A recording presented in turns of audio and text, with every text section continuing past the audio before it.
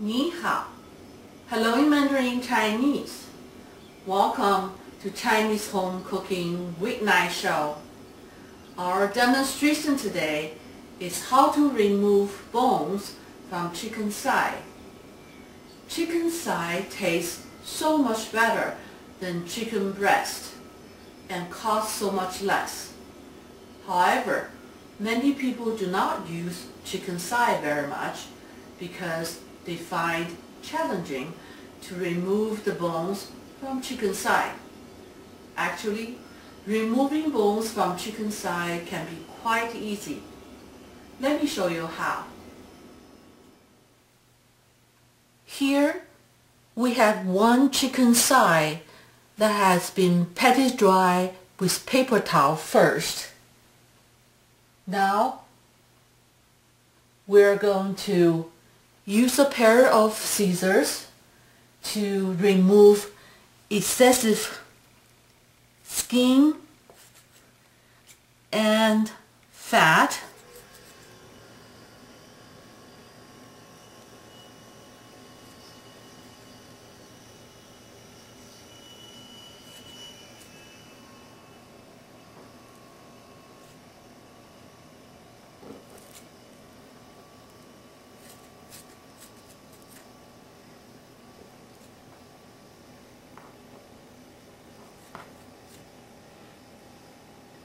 Just make sure the skin is intact.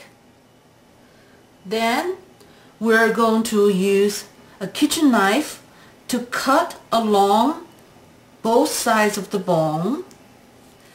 Uh, do not cut through the skin.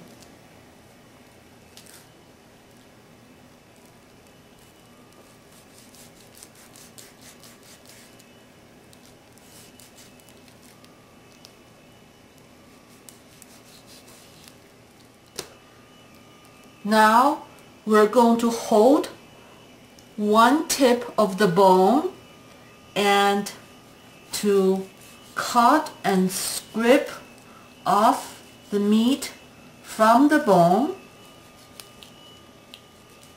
until the other end of the bone. And then we're going to cut off the bone don't worry, nothing going to be wasted. You can save this for uh, soup later on. Now we're going to find the thick portion of the side and to make one by one inch uh, score so that it can be quickly marinated and uh, even cooking. So you can see it's about inch by inch score and make sure it doesn't cut through the skin so it, it holds as a whole piece.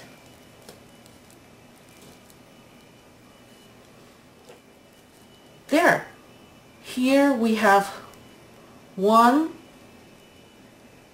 piece of chicken thigh steak that is ready to be marinated and cooked. Let's have a quick review of what we done.